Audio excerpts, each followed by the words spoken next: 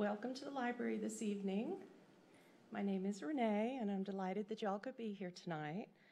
I'd also like to welcome those of you who are viewing the program through our live stream online. This is the third installment of the Space Science series. Caitlin's fourth and final appearance will, at the library will be Tuesday, April 17th. So be sure to put that on your calendars for her talk. Um, it will be on constellations and mythology and culture. And if you could please, before you leave this evening, take a few moments to share your thoughts on the evaluation forms that are available. We appreciate your feedback, helps us plan for future programs here at the library. It's my pleasure to welcome Caitlin Ahrens to the library again this evening. Caitlin's currently working on her PhD in space and planetary science at the University of Arkansas. She helped plan and build the Pluto Lab at Arkansas Center for Planetary Simulations and now manages that. Along with her current research and other duties, she is also a NASA Solar System Ambassador. Caitlin also guest hosts a mini radio show with our local NPR radio station, KUAF 91.3, called Scratching the Surface. Please help me welcome Caitlin Ahrens. Yay!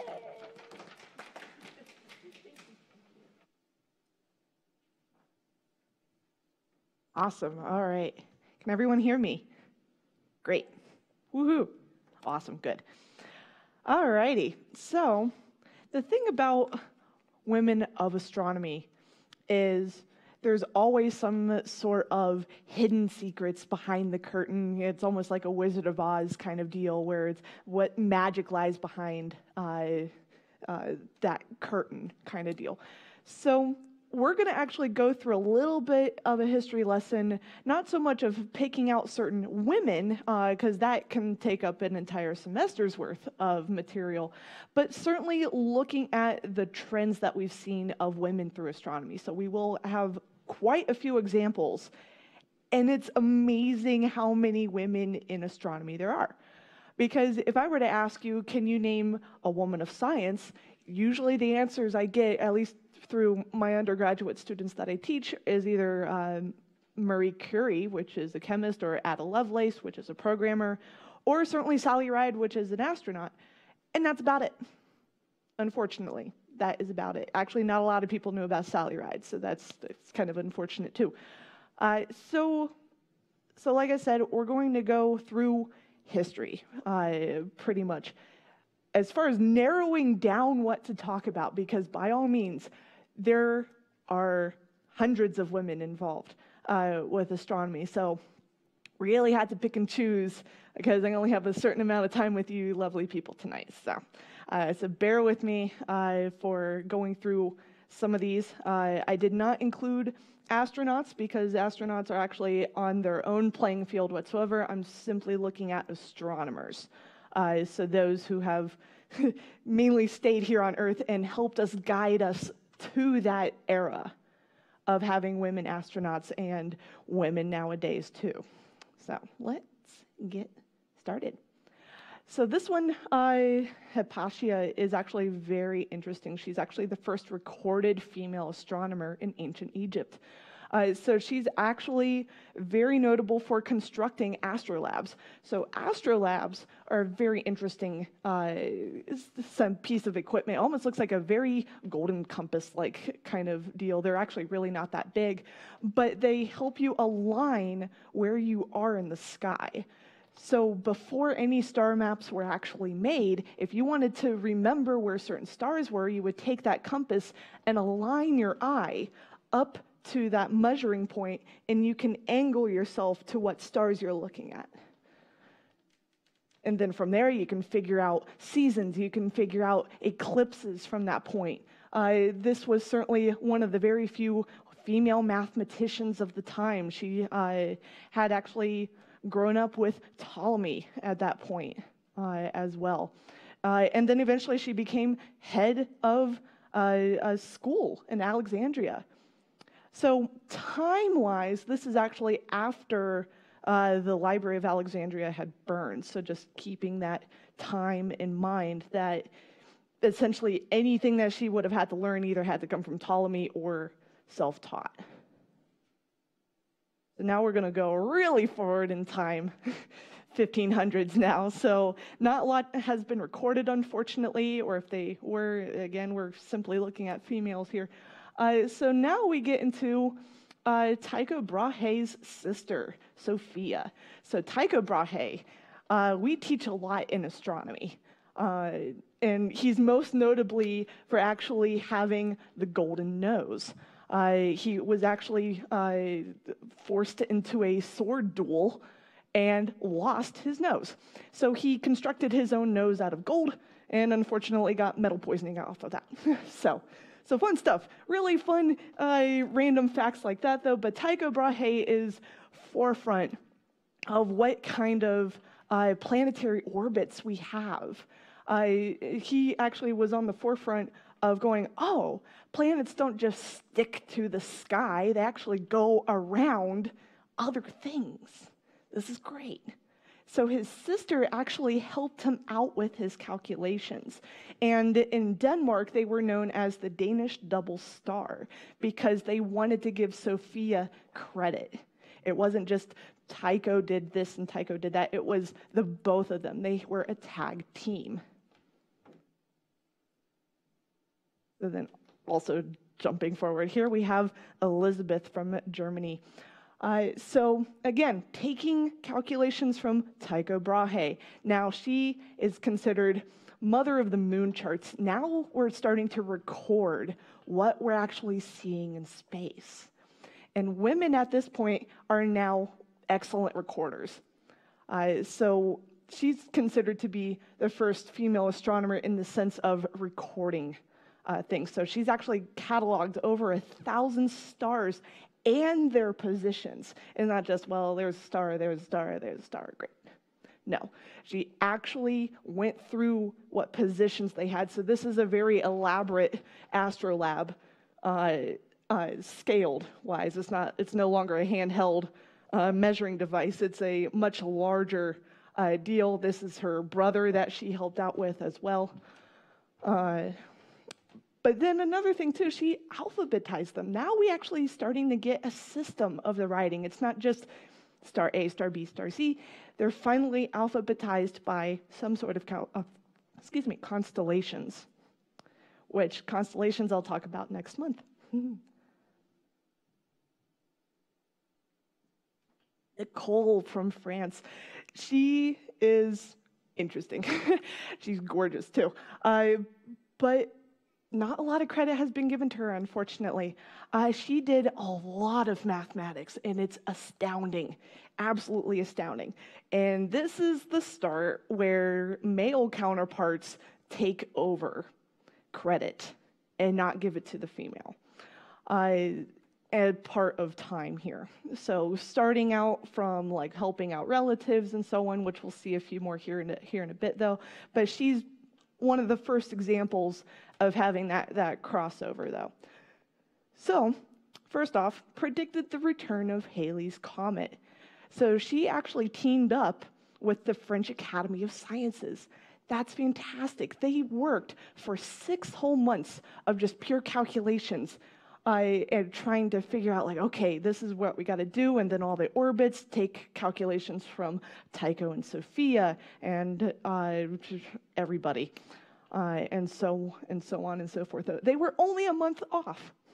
They were only a month off. That's incredible. You know, we take our, our phones and computers and calculators for granted, though, but to do all of this by hand, and telescopes were still a very new thing at the time, too.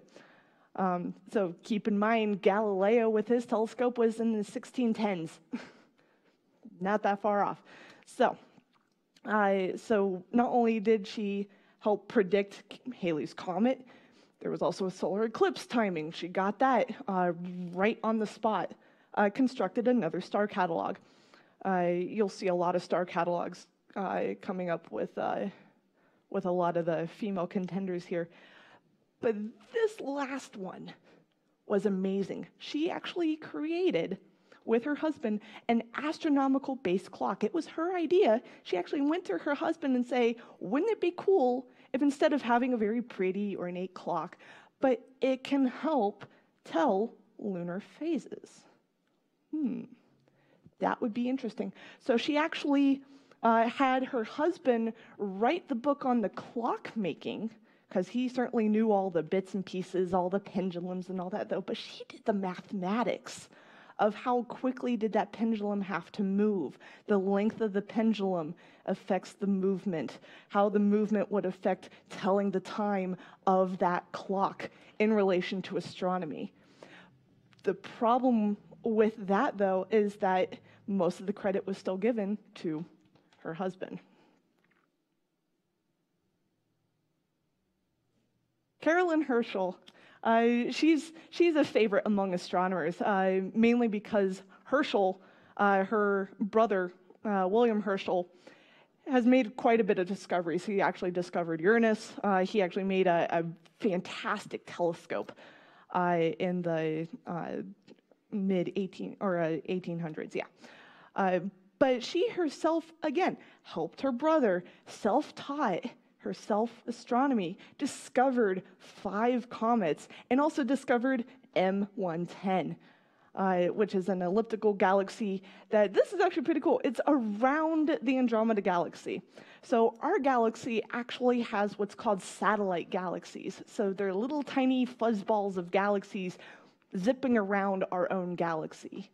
So, M110 is actually a satellite galaxy. It's actually zipping around the Andromeda galaxy. So the fact that she was able to see that with her brother's telescope is like, oh, that's so cool. Yay. Um, and then, first woman awarded a gold medal at the Royal Astronomical Society. Yes. All right. Now we're getting some progress. Maybe. we're getting there. Uh, now, uh, Mary Somerville actually does not get a lot of credit as well. Uh, she actually was the first one to take Laplace's mathematics. So, anybody who's a physicist like me, we had to go through what's called Laplace mathematics. So, it's just an interesting art form of calculus. It's a very interesting form of calculus. But Laplace was French. And at the time, it was amazing. All that calculus work, it's brand new types of mathematics, and no English speaker can decipher it. So Mary Somerville self taught herself mathematics and was able to translate Laplace's mathematics textbook, make an English textbook. So that is incredible as well. And even Laplace himself um, was able to say, This is the only woman to actually understand my work perfectly enough that other people couldn't understand it. Fantastic. And then in the meantime, Neptune hasn't been discovered yet, though, but she found irregularities in Uranus's orbit, and she thought, I bet there's another planet out there. But unfortunately, she never got to continue that work. And then it was taken up uh, by someone who actually did discover Neptune with a telescope and so on and so forth. But I thought this was cool. Ada Lovelace, the first computer programmer, the first computer programmer, not technical computer, but certainly deciphering code of any form.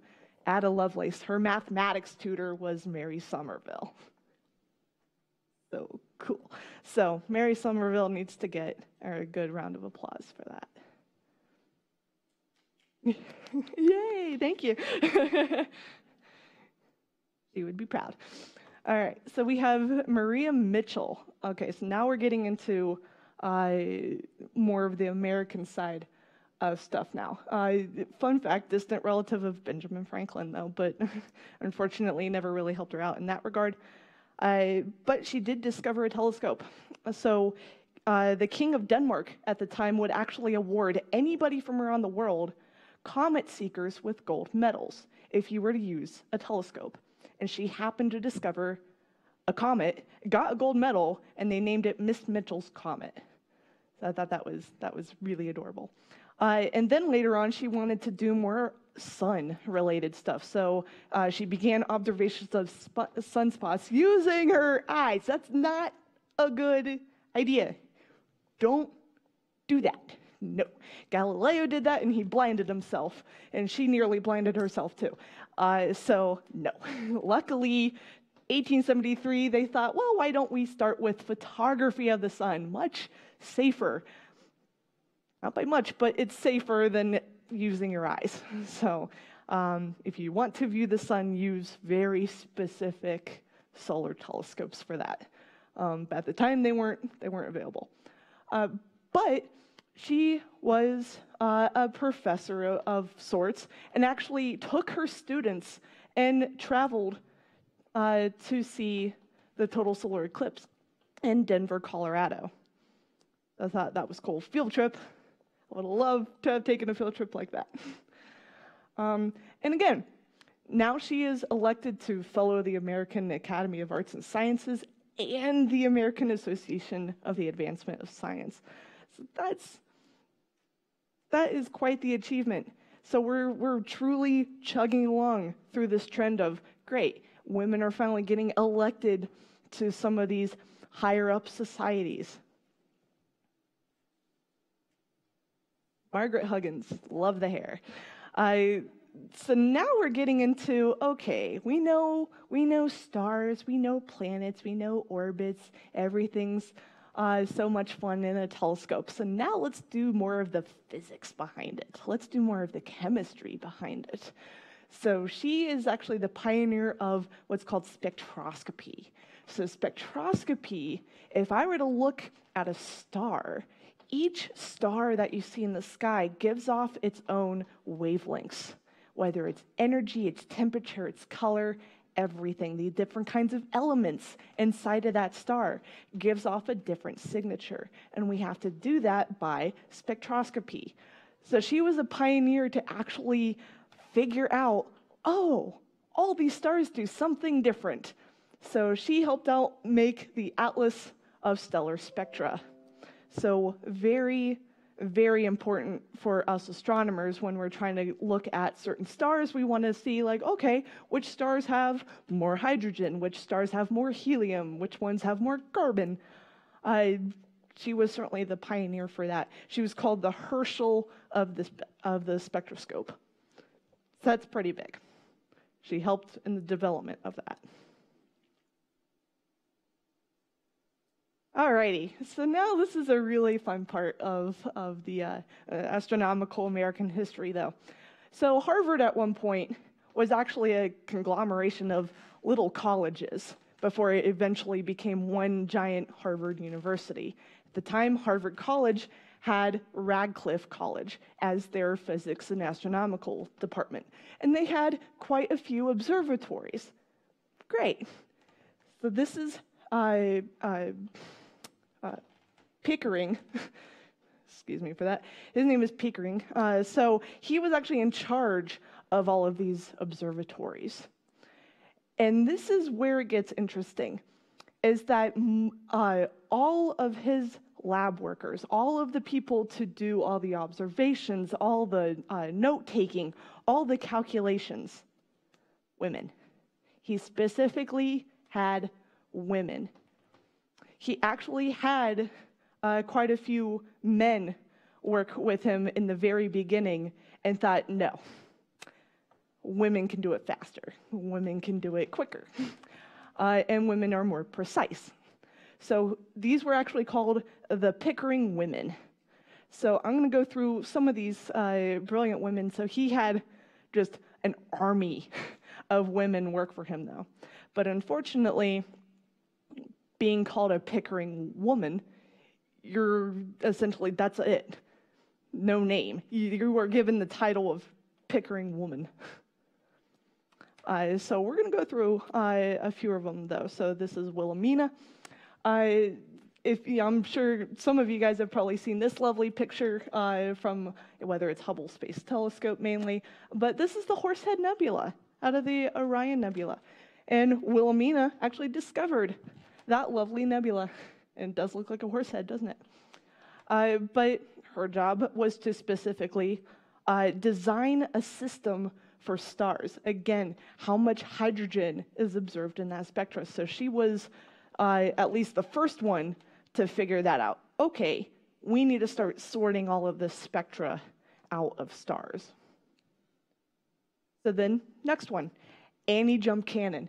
Sure, her name comes up a lot when I teach uh, astronomy. That's actually uh, most uh, most astronomy textbooks really place her at the front part with our stellar classification. So today, as of today, we still use her stellar classification.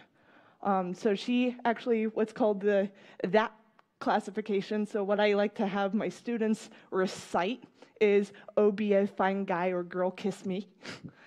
Um, so if ever I, it's really funny during an exam, whenever I have a, a whole room of 200 some students and they come to that part, I can hear them recite, oh, be a fine guy, kiss me. Oh, be a fine girl, kiss me. And it's over and over and over again. And then they, they remember it. Unfortunately, they, they don't remember her name, but they remember the classification. Oops. Uh, so, eh, okay. Um, but still, we still use her classification. That is absolutely astounding. So she published the first stellar spectra catalog, 1901. And then this is also where it gets interesting too, is that she's also the first woman to receive an honorary doctorate out of the States from a, a European university. So this is cool. So now that we're getting into an era of honorary doctorates for women and it's going to become a little bit more popular to give women honorary doctorates. Henrietta Leavitt. Uh, so, again, going through all of my astrophysics, we actually had to use the period luminosity relationship. And I'm not going to lie, I never knew that that was created by Henrietta. I never knew it was created by a woman. So as I'm going through this presentation, I'm learning stuff too. So this this has been really entertaining for me. Uh, but we still, again, we use this relationship. So what this relationship does is that there's a specific kind of star that acts really, really weird. We call them Cepheids. So Cepheids, most stars are supposed to eventually just kind of dim down over time and then eventually go poof. Cepheids, on the other hand, start to go a little dim and then they bright up. And then they kind of dim right back down and then they bright up again. And because of their brightening, can tell us about how far away they are, which is pretty cool. So the period, how often does it bright up and dim down, uh, their luminosity, how bright that would be. And then it creates a relationship for, great, that's how far away it is. Cool. So she figured that out. Hey, that's good. And then they are a type of variable star, so the whole difference of, of brightening and dimming and brightening and dimming. Uh, thousands of variable stars. She got to catalog them. That's, ah, that's so incredible. Anne Young. Uh, so again, variable stars, looking at the, the dimming and the brightening of certain stars. Now, from uh, thousands, now we're like 6,500 variable star observations. So, uh, way ahead of, of the previous one. Uh, but now she's finally earned a PhD from Columbia University in 1906 uh, for actually having photographs of certain constellations, mainly the Pegasus constellation, and realizing there's a lot more stars that we don't see in particular with just telescopes. We need to actually have light coming into our cameras, and we can get a lot more light out of photographs. So now we're getting into astrophotography. That's, that's fascinating then. Um, now, keep in mind, these aren't just like click or anything with, with obviously not a phone, uh, but glass plates. These are actually glass plates of photographs that they had to really look at. Glass plates have been used for quite some time from here on out. And then Louise Jenkins. Uh, this one's not a Pickering woman, uh, but I wanted to include her in here mainly for her research in parallax. So now we're wanting to know okay, how far away are these objects that we're actually seeing Now we're catalog thousands of stars. How can we better get a better relationship of how far away are they? So it's something called parallax. And we've all experienced parallax one way or another.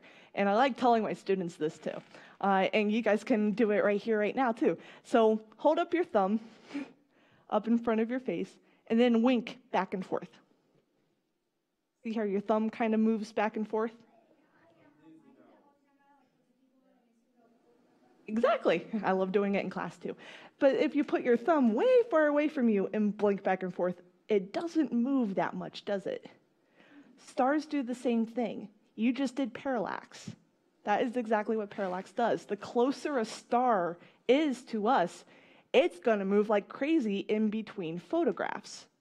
But if it's really far away, it's going to barely nudge, which means it's really distant. Really, really distant. So that is parallax. She actually made the relationship of like, great, okay, now we know how distant some of these objects are. All right, Cecilia. Uh, so Cecilia uh, now goes into more of the chemistry of the stars. What are these stars actually made of? We know there's a lot of hydrogen and helium, and that was about it. But now she wants to know do the temperatures and the elements coincide? In which case, that is a yes. Uh, very, very much so, and it's much, much trickier from from uh, from where she started and then where we are right now in current astronomy, though, um, because there's so many different kinds of elements. Ah, there's so many elements. Uh, but she was a, a good start to that particular study, though. Uh, so she actually had her own PhD thesis. She was the per- first person out of uh, the Radcliffe College to earn that PhD. So, woohoo, Dr. Cecilia, here we go. Um, but again, now we're getting into different kinds of temperature of stars. Really, really hot stars are really, really big and they have a lot, a lot of elements. Whereas you have itty bitty stars, they're not so bright. They have a little bit of hydrogen and helium. All thanks to her. Good job, Cecilia. then we have Helen. So, yay, now we're getting in the 1900s. Woohoo. Uh, so, Helen Hogg uh, enhanced our understanding of Milky Way. The Milky Way is still incredibly hard to even figure out what in the world we're even doing because we've never left the Milky Way ever. We've we've barely left the solar system from 1960s Voyagers, uh, but we've never left the, our Milky Way galaxy. We can only guess as to what it looks like. So we assume it's a spiral galaxy. So why it's called Milky Way, it actually looks like spilt milk over across the sky. We call it Milky Way, and that, that was about it. That was pretty much all we knew about the Milky Way. Uh, so Helen actually figured, okay, so if it's a spiral, now how do we know about its age and its size? So the best best way that even us astronomers still do today to even characterize the Milky Way is pretend you're in a house, but you can't leave your house. You don't know what the outside of your house looks like. So, what do you do? Besides just kind of puttering around, watch YouTube or something, who knows, stream internet, eh. But you want to really know what the outside of your house looks like. So, you look out the windows. You want to see what community you live in. Do you live in a place where you have gorgeous medieval castles around you? Do you have nice uh, brick buildings around you? Do you have wooden houses? Do you have log cabins? Are you out in the middle of nowhere? so, by looking at what your neighborhood looks like, you have a pretty good idea of what your own house should look like. And that's how we were able to characterize the Milky Way, is that we can't leave it, can't leave our, our house Milky Way, but we can look at the other galaxies around us going, oh, well, that one's blue, that one's blue, that one's blue, we must be blue. That one has a lot of stars, that one has a lot of stars, that one says, yeah, that's okay. So we must be somewhere in the middle. And that's by far that is the truly the farthest that we've gotten even today. All right. Muriel Seyfert unfortunately does not get a lot of uh, credit as well, though, but she helped discover what planetary nebulae are. So these are It looks like a space donut, a rainbow space donut, which is what I like to call it. Uh, but these are spectacular because we call them planetary nebula because back in the 1600s when we saw them through telescopes, we truly thought that they looked like really giant planets. But instead, they're actually really giant pieces of gas. And what happens is that that little star right there is actually dead. That star has gotten so large over time, it can no longer hold and grasp all of the gas that it's eaten up over time and just went poof. So, all of what you see here is that poof of that dead star. yeah. Also called a human computer. She was uh, getting out toward the Pickering woman kind of kind of era. So now we're getting into World War II. This is where it got a little dicey for astronomers because a lot of the equipment used in astronomy actually was used for the war effort. So a lot of astronomy did not uh, do so well in the wartime. Now, this is particularly interesting. There were torpedoes that were radio controlled that could be hacked and jammed. So there was actually a creation of a frequency hopping signal that was constructed by a player piano to actually mix the radio signals. And I actually used to have a player piano. Um, so, uh, so I thought this was like, oh man, this is so cool. What kind of creation was made from this? Who created this really cool thing that actually was never used until 1962? It was actually uh, modified for the Cuban Missile Crisis. Uh, so, who actually created this? So, some of you may not actually know who this woman is. Um, I certainly do. I hope some of you guys do too. Anybody know who this is? Uh, hold on a second. Give me a second. Okay. Um, is it Hedy Lamarr? Yes, that is Hedy Lamarr. So, Hedy Lamarr. So, her real name is actually Hedwig Eva Maria Kiesler. Yes, very much. She's actually from Austria. So, she wanted to actually, she was originally an inventor. But no woman of that time would be such a title. But she's gorgeous. So she came to America to be an actress, to try to also be an inventor at the same time. Now, I, so she's very much uh, uh, popularized by her 1949 film Samson and Delilah. She uh, playing the role of Delilah and it won uh, all sorts of awards for that particular one, though. But when she came to America, her name got Americanized for Hedy Lamarr. Uh, so the cool part is, is that her invention of that jamming signal led to the creation of what we use every single day GPS, Bluetooth, and Wi Fi. All from what, uh, what we always know to be an actress.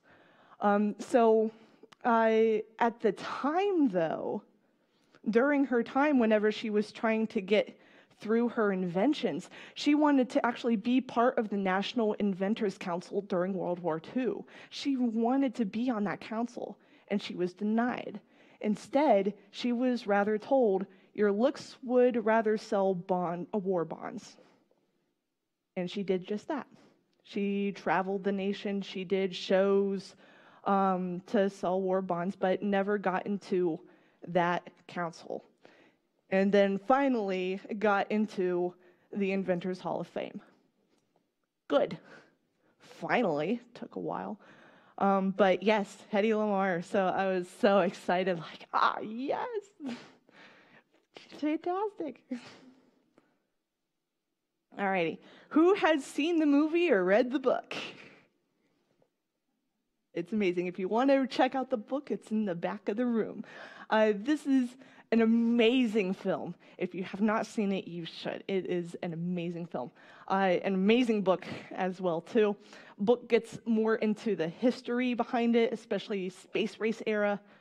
Uh, but the main main person to, to go around through is, uh, is Katherine Johnson, who's still alive. She's very much in her late 90s. Uh, but she really was a human computer before NASA was even a thing. So before NASA, you had NACA, which is the National Advisory Committee for Aeronautics. So at the time, it was pure mathematics. It was just pure calculations, trajectories. What kind of rocket propulsions were we going to have? How was it going to go up? And then how are we going to bring it back down? Uh, all the safety stuff for the astronauts at the time. Uh, certainly, Project Mercury, very early NASA missions with Apollo, uh, space shuttle mission, everything. And, and her recent accomplishments is that her calculations are still being used for when we want to send people eventually to Mars. She's done the calculations. Uh, several honorary doctorates. Fantastic.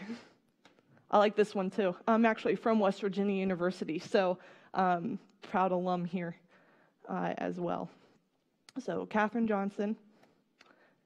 Vera Rubin.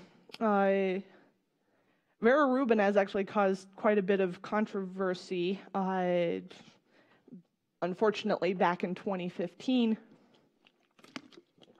mainly because she was supposed to get the Nobel Prize and unfortunately never did. Uh, so she actually was the first one to discover dark matter. So, dark matter is still very much a fuzzy uh, definition in astronomy, though, but it's actually kind of spooky, kind of cool, but kind of spooky. So, dark matter is that kind of weird energy that we still cannot detect. So, energy in the sense of why are spiral galaxies spiral? That would be dark matter. There's something there that we still cannot detect, not with our own eyes, not with the wavelengths that we have instruments for, because there's some other wavelength there. We just don't know what it is. We don't know how to detect it. So for now, we just call it dark matter. Don't know what it is, but it's there. Um, so having dark matter hope, opened up a whole new branch of astronomy, a whole new branch. Really would have landed her the Nobel Prize. Unfortunately, not. She was a sport about it, though. She was just like, no, no. The the ones who did get the Nobel Prize, they deserve it. And she's she was very humble, um, though. So unfortunately, we lost her in 2016. But she was she was a sweetheart, though. Uh, she studied a lot of galaxies for the purpose of of dark matter, though. So she was fantastic. Alrighty. So this is fun. So in 1992 we were supposed to get this grand comet to come toward Earth, and it was going to be awesome. We saw it way past uh, Saturn at the time, and we were having all of our telescopes toward it, and we were making measurements for it. We're like, oh, it's going to be so close to Earth, and this is going to be so cool. And we're going to try to photograph as many times of this comet. It's going to be great. Uh, it, we got so excited. We're like, yes. Until until it got near Jupiter. Jupiter's gravity force is so large, it actually tore apart the comet. So we call this the string of pearls. This used to be one comet, and then it tore it apart in little pieces. And one by one, it got swallowed by Jupiter to the point where it left scars. so those black spots, and the nice big red spot that we all knowingly love. But the big uh, darker spots there, that's the comet plunging into Jupiter and leaving, leaving Jupiter with a few black eyes. And then they disappeared over a matter of months. Perfectly fine. But it was like, no, we lost the comet. But aside from that, uh, discovering that comet and the physics behind it uh, really goes to Carolyn Shoemaker and her husband, Gene Shoemaker. Uh, um, Carolyn is still uh, alive. I'm actually a friend of hers, so giving her a nice shout out tonight. Um, but she's truly held the record for most dis- comets discovered by an individual. Uh, most of the comets and asteroids that she has discovered uh, were from gra- glass plates again, not from take a picture on your phone, no fancy cameras or anything, all from glass plates absolutely fantastic. Uh, and she self-taught herself. She was actually a elementary school teacher for the longest time. And then she decided to hang out with her husband at, at the local observatory and was like, well, this is fun. Yeah, I'll, I'll help you out. And now she's one of the leading experts of, of comets and asteroids. so all, all from just going, hey, what you doing? Can I help? Hmm. All right. I'm curious to know if anybody would happen to know what this would be. I ask my students this all the time, and they always say aliens, which is quite close. Let's be real here. Who was almost going to say aliens? Me too. All right. So, this is actually what I used to do, unfortunately, for a number of years. Um, but this is what we call a pulsar. So, pulsar is when you have a star that's essentially dead, it's a zombie star. Um, that's already gone through its lifetime. It used to have a nice, magnificent life, and it went poof. But what's left, the skeleton zombie star, won't die just yet. So it truly is a zombie. And then it spins really, really fast. And as it's spinning really, really fast, we call this a lighthouse effect, where the magnetic poles of this star actually expand miles and miles and miles. And it goes boop, boop. And we can hear the boop. So that little dark line there and that lovely peak up there, that's the boop. That is the boop of the pulsar. And we can detect these using radio telescopes. So at the time, when we got these really weird signals, almost the heartbeat of stars, just the constant booping, we had no idea what they were. And if you were to see earlier versions of these kinds of diagrams, this is the more modernized. I couldn't find a good enough image for the for the uh, earlier ones, but we would call them LGMs. And LGMs was the acronym for Little Green Men, because we truly thought they were alien signals. So lo and behold, they were actually stars. And the discoverer of pulsars, which opened up a whole new branch of astronomy again, is Jocelyn Bell. So Jocelyn Bell was actually supposed to be a, a, a Nobel Prize winner. Nope, it actually went to her advisor. Yep. So some of us in the astronomy community are still like ah about it. Um, she's she's a she's a sport uh, to those, so she's like, no, no, it's it's all right. uh, but her discovery of pulsars now gives us a better sense of what kind of stars are even more so in our universe, especially the life cycles of some of these stars. For some of them to turn into pulsars. Within my lifetime, we discovered a new type of pulsar, actually, um, called a millisecond pulsar. So that booping goes so fast that we actually have to slow down the pulse to make sure that it's even a pulsar. Um, so usually pulsars, when you hear pulsars, uh, actually it sounds like knocking.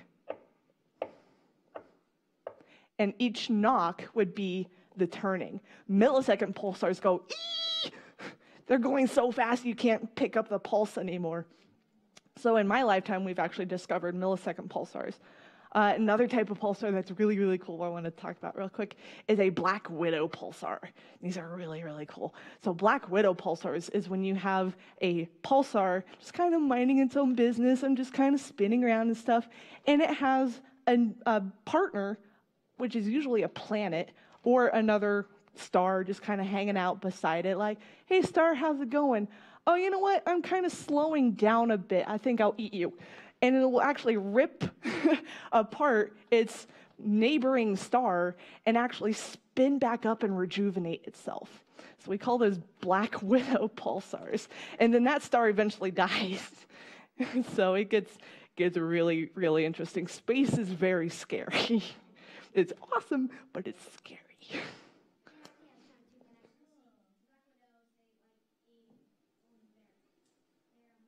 Mm-hmm. Exactly, exactly. Good job. All right, who has read this book or seen the movie? Not a lot of people have, unfortunately, though. It's actually quite an interesting movie. Uh, the honestly, the book is better. Uh, the movie gets more into the like the cinematics of it, though. Um, if, you try watching this movie with a bunch of radio astronomers like I have, it's a nightmare because there's a lot of wrong uh, science things going on in contact, though. But but for the sake of of having entertainment, it's a really good movie. But the movie and the book, Carl Sagan actually wrote it as almost like a like a love letter, uh, as a biography, a very fictitious biography though on Jill Tarter. Uh, so Jill Tarter was actually now a former director of the SETI Institute. SETI is the Search for Extraterrestrial Intelligence Institute. Uh, but her work is mainly toward using pulsars and then trying to figure out well, if we can receive signals, can we put signals into space? What would happen then? Could we have other beings, other civilizations catch our signals back up in the space? So that was her job, is not only the listening, but also the taking signals out in the space all over the place and see what happens. Uh, so shout out uh, to Sarah Scoles uh, her recent, very recent biography of Jill Tarter and the history of SETI, Making Contact. Um, so, fantastic read for that too. Now, I want to give a little perspective here on the missions. You know, I'm going through all the history of women and certainly with stellar spectra and stuff, though. But what about missions? What about planetary missions, though? Uh, so this was actually created by a colleague of mine, Julie Rathbun. Uh, there's really not that much, but you got to think about the, the time uh, of most of these, though. So going through Viking all the way, uh, Cassini finally got an uplift of, of females during the mission. Now, most of what's going on with Cassini, even though it's no longer a mission, there's a lot of women with Cassini now. Um, and then certainly New Horizons, uh, which I work with a lot of women for New Horizons, which is the Pluto mission, uh, Dawn mission. I, I know a few people from Dawn, all female, which is fantastic. But it's kind of a weird curve, too, because you're not starting out so great, and then it kind of goes up and then a little bit down a little bit, though. Uh, Maven is kind of an uh, outlier in this regard, though, because Maven was actually planned years in advance, years and years and years in advance. Uh, so Maven is kind of a, yeah, it's, it's there. It's there, but we're, get, we're getting better. We're trying to get more women involved with planetary missions as well.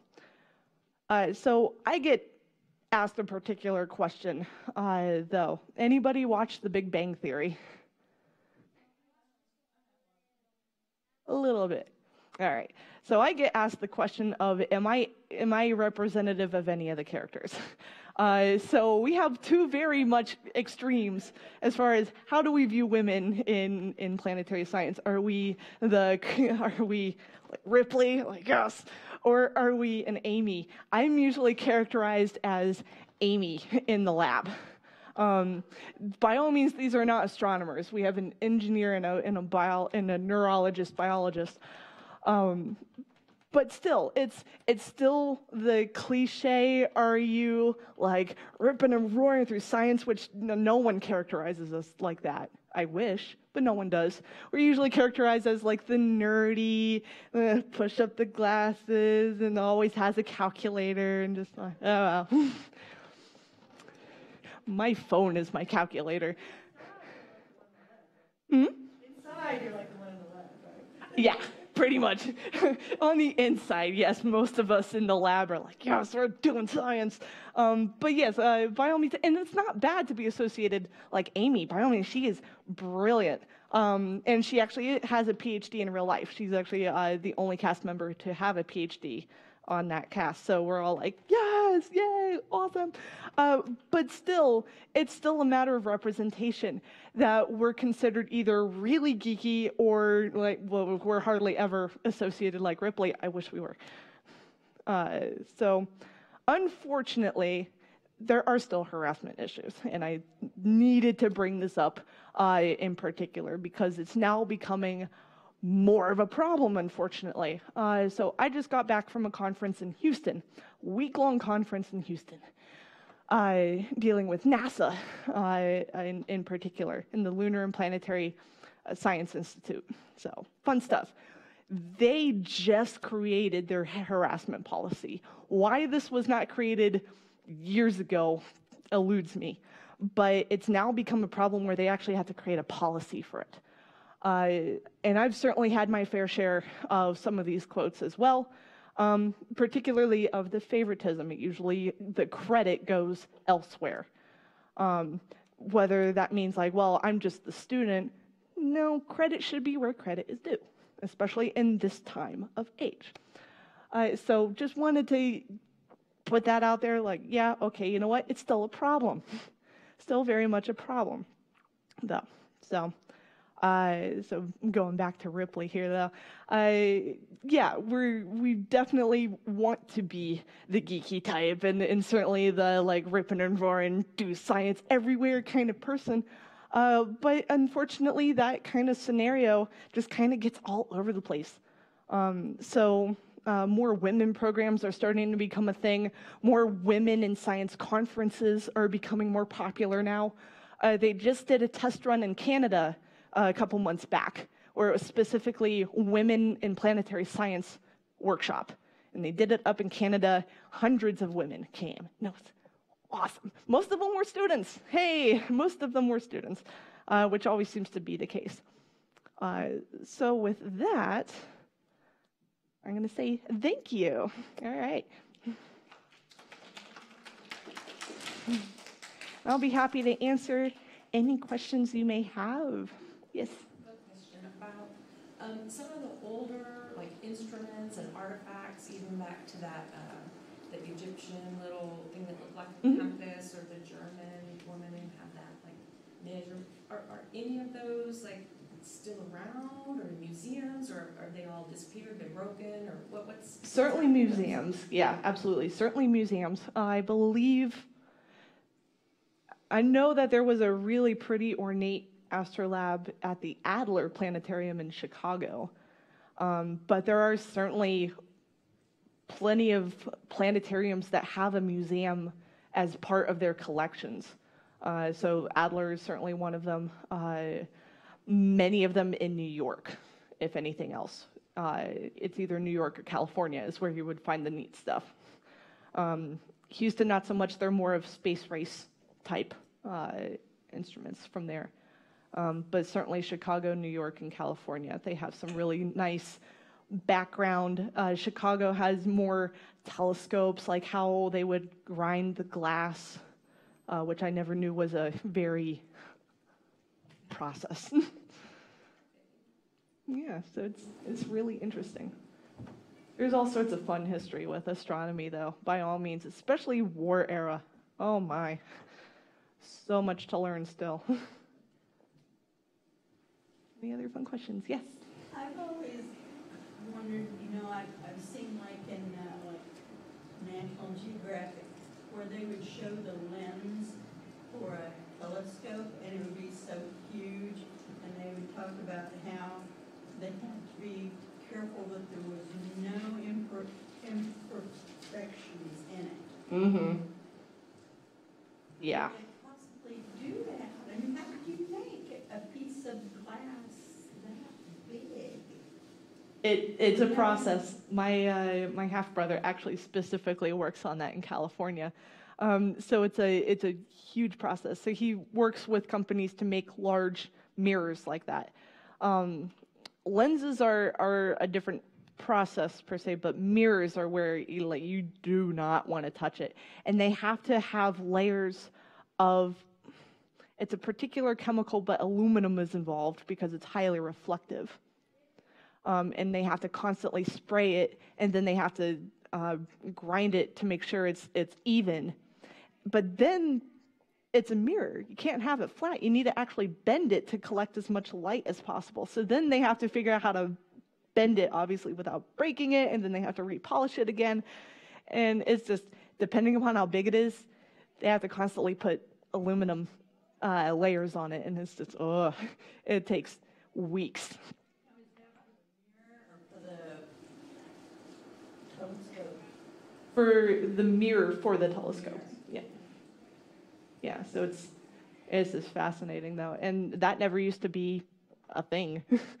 um, uh, most telescopes during war era were glass lenses, and even that took a while. But then mirrors, uh, especially from Hubble Space Telescope, are like, ah, mirrors are so much better. Okay, great. But now we can't touch them.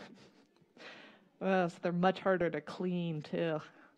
Ugh, nope. So I don't particularly work with telescopes anymore. Yeah, I kind of wondered about that too. This one that was huge. I was like, How do they clean that? No idea. Absolutely no idea. Very carefully. very, very carefully. Can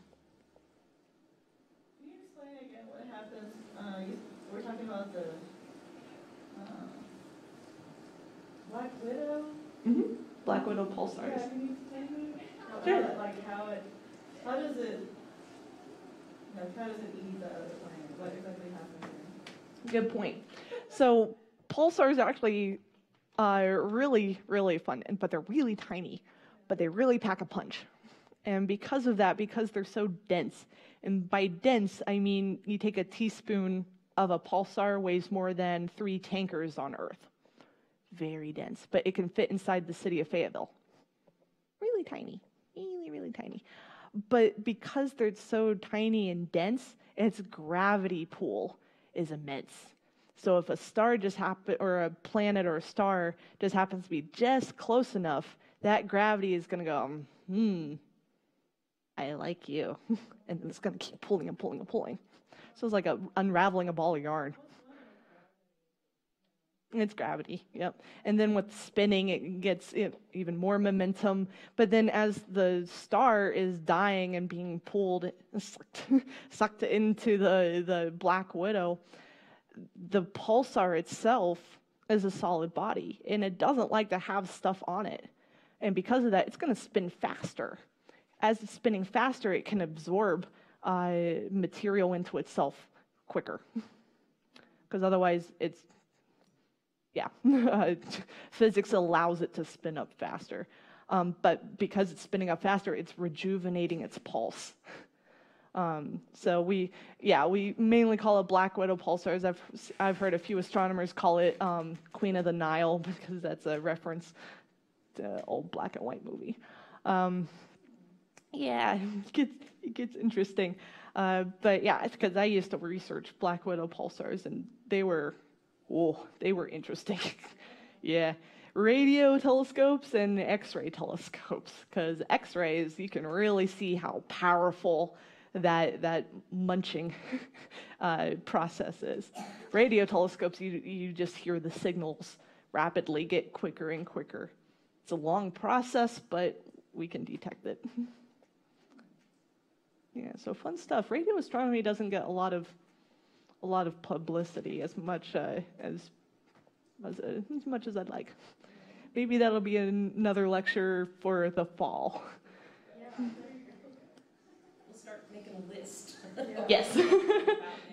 I'll be back in the fall. So radio astronomy, there we go. now that would be fun. All right. Any other any other questions?